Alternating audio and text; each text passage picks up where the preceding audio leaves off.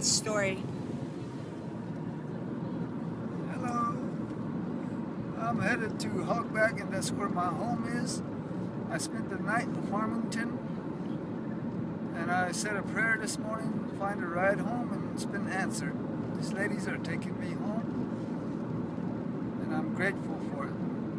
So, so why do you walk every day, Milton? I have no transportation, and I uh,